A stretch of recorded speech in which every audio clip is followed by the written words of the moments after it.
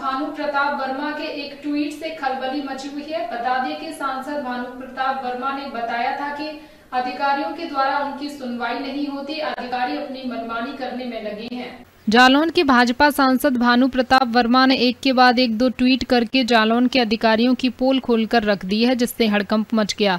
सांसद ने बुधवार सुबह आठ बजकर नौ मिनट पर दो ट्वीट मुख्यमंत्री योगी आदित्यनाथ, डिप्टी सीएम केशव प्रसाद मौर्य तथा लोक निर्माण विभाग के साथ मुख्य सचिव को किए, जिसमें उन्होंने शिकायत की थी कि अधिकारी उनकी बात नहीं मान रहे और कोच उरई मार्ग पर पुल का निर्माण किया जा रहा है। वह घटिया स्तर पर किया जा रहा है, जिसकी शिकायत भी की गई, लेकिन उनकी बात नहीं सुनी जा रही। भाजपा सांसद भानु प्रताप वर्मा द्वारा जो ट्वीट किया गया, जिसमें मुख्यमंत्री योगी आदित्यनाथ, डिप्टी सीएम केशव प्रसाद मौर्य और मुख्य सचिव के साथ पीडब्ल्यूडी तथा सीएमओ कार्यालय को टैग करते हुए बताया गया कि जालौन के उरई कोच मार्ग का चौड़ीकरण और पुलिया का निर्माण किया जा रहा, लेकिन ये कार्य मानक के अनुरूप नहीं किया जा रहा, जिसकी शिकायत उनके द्वारा पीडब्ल्यूडी विभाग के मुख्य अभियंता और अधीक्षण अभियंता से की गई थी, लेकिन इन अधिकारियों ने शिकायत का कोई भी संज्ञान नहीं लिया, जिस कारण आए दिन सड़क हादसे हो रहे हैं, जो सहनीय नहीं है। उन्होंने मुख्यमंत्री योगी आदित्यनाथ, डिप्टी सीएम केशव प्रसाद मौर्य से अपना दर्द बयां करते हुए कहा कि प्रदेश में इन अधिकारियों के कारण सरकार की छवि खराब हो रही है।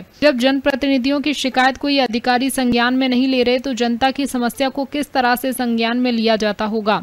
इस ट्वीट के बाद जनपद से लेकर प्रदेश में हड़कंप मचा हुआ है। जब ये खबर सुर्खियों में आई तो सांसद के द्वारा अपनी ट्वीट को तत्काल डिलीट कर दिया गया, जिससे सरकार की छवि खराब ना हो सके। लेकिन सांसद ने जो दर्द बयां किया है वे निश्चित ही उत्तर प्रदेश के अधिकारियों की कार्यशैली पर सवालिया निशान ज़रूर खड़ा करता है। हरिओम बुधौलिया, जालौन, समाचार 24 कार्यालय से हुआ होगा, उसमें हमने एक बार, जो साइडें उन्होंने भरी हैं उनसे ये कहा था कि इसे ठीक करके जो भी पेंटिंग करना वो पेंटिंग कर दीजिएगा।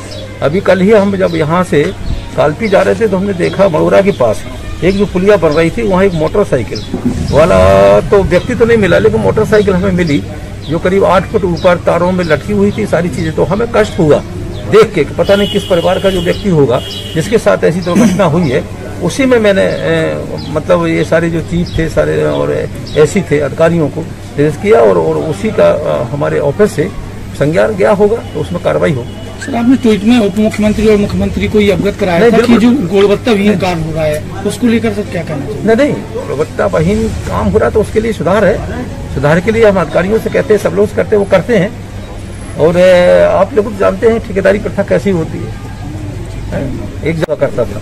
आज वो सेवा भाव किसी के अंदर है ही नहीं तो हम क्यों माने कि ठेकेदार भी सेवा भाव के रूप में काम करेंगे। उनको उनको उन्हें भी लगता है कि ज़्यादा से ज़्यादा धन हम कैसे कमा सकते हो। वो प्रयास करते हैं, क्योंकि अब सेवा भाव जब तक नहीं आएगा, तब तक ये सारी गुणवत्ता और सारी चीज़ें आना संभव नहीं है। इसलिए हम लोग प्रयास करते हैं कि सेवा भाव आए, देश के प्रति, अपने समाज के प्रति। और जब तक ये नहीं आएगा, तब तक हम आगे बढ़ सकते। इसीलिए हम लोग बार बार कहते हैं कि जो भी मौका पड़ती है पहले अधिकारियों को बताते हैं, जब नहीं होती तो जाँच भी करवाते हैं, इसकी जाँच, इस रोज की जाँच भी होगी।